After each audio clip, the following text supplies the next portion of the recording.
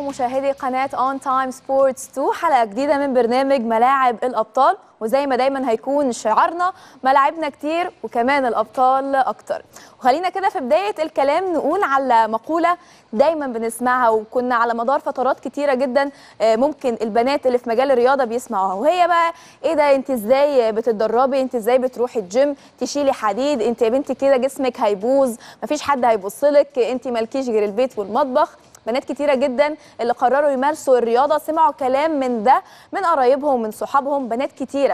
ما لقيتش الدعم الحقيقي من كل اللي حواليها لما جت واختارت إنها تكون بتلعب رياضة خصوصا بقى لو الرياضة دي آه، متصنفة إنها رياضة للرجالة. بس زي الألعاب القتالية أو رفع الأثقال شفنا بنات كتيرة جدا بتخش المجال ده وكمان بيثبتوا نفسهم.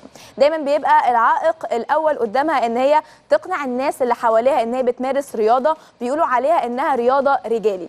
البنات علشان تكون بطلة في رياضة بتنحت فعلا في الصخر وبيبقى عندها التزامات كتيرة جدا في حياتها الشخصية جنب ممارسة الرياضة. يمكن ناس كتيرة ما تعرفش إن الستات والبنات اللي بيقرروا يلعبوا رياضة بيبقى عليهم عبء زيادة كمان على اللي على الراجل آه، بشكل كبير جدا. الضغط على البنات اللي بتلعب رياضة بيكون بسبب نظرة المجتمع شوية. الذكورية شويتين كمان آه، من سبب مثلا أسرة ممكن بعض المجتمعات خصوصا المجتمعات الشرقية اللي لسه ما عندهاش ثقافة إن البنت تكون بتلعب رياضة مع تحفظات على ممارسة البنت بشكل عام للرياضة. عمر ما كانت الرياضة بتاخد من جمال البنت أو تغير من ملامحها زي ما شوية ناس كده بتقول أو بتفكر أو بتعتقد. في لاعبات كتير جدا قدرت تتفوق بين إنها تكون بنت وإنها بتلعب رياضة صعبة أو مرهقة سواء في ماتشات وبطولات أو في روتين حتى تمرينها اللي بتعتمد فيه على القوة العضلية.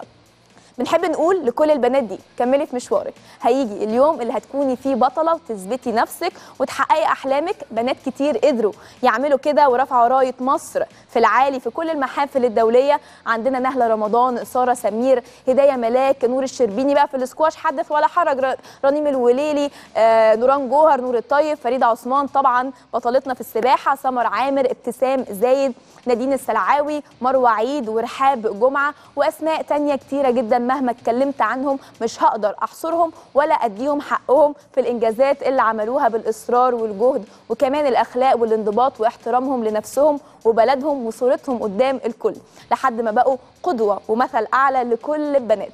النهارده 8 مارس يوم جديد لعيد المرأة. نحب نقول فيه لكل بنت ولكل ست بتلعب رياضة كل سنة وانت طيبة وكملي في اللي انت بتعمليه وناجحة فيه. الكل وراكي وأولهم برنامجنا ملاعب الأبطال. كمان حابة أحيي بجانب بقى البطلات اللي بيمارسوا الرياضة الأمهات في يوم عيد المرأة العالمي لأن ورا كل بطل أو بطلة أم. أم بقى دي اللي بتودي التمارين.